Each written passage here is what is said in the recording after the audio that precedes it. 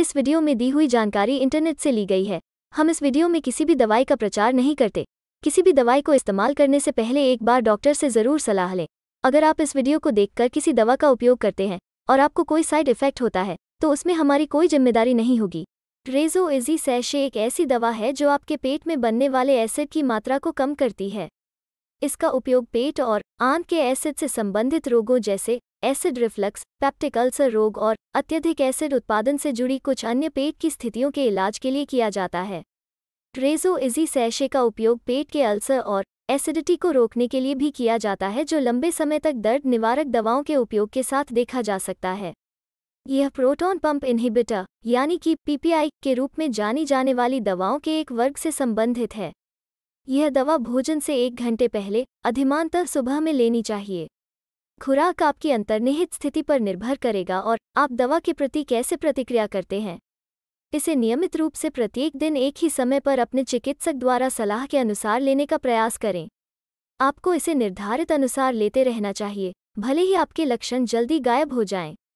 आप अधिक बार छोटे भोजन खाने और चाय और कॉफ़ी जैसे कैफीनयुक्त पेय और मसालेदार या वसायुक्त भोजन से परहेज करके अपने लक्षणों को सुधारने में मदद कर सकते हैं।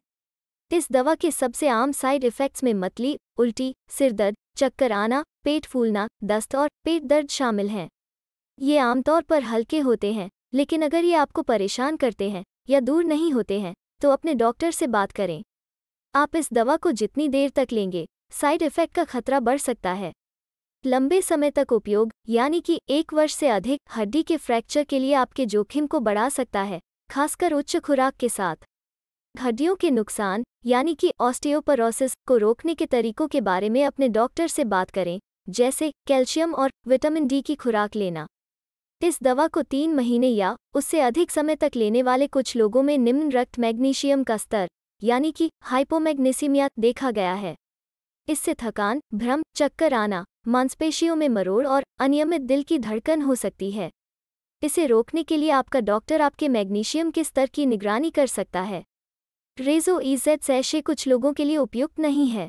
इस दवा को लेने से पहले, आपको अपने डॉक्टर को यह बताना होगा कि क्या आपको लीवर की गंभीर समस्या है। एचआईवी के लिए दवाएँ ले रहे हैं। अतीत में इसी तरह की दवाओं से एलर्जी की प्रतिक्रिया हुई है, या हड्डियों के नुकसान, यानी कि ऑस्टियोपरोसिस से पीड़ित हैं। गर्भवती या स्तनपान कराने वाली महिलाओं को भी इसे लेने से पहले अपने डॉक्टर से सलाह लेनी चाहिए। शराब पीने से बचें क्योंकि इससे आपके पेट में अत्यधिक एसिड बनता है और आपके लक्षण बिगड़ सकते हैं। यदि यह दवा आपको चक्कर या नींद का अनुभव कराती है तो वाहन न चलाएँ या मशीनरी या उपकरण का उपयोग न करें। वीडियो को पूरा देखने के लिए धन्यवाद।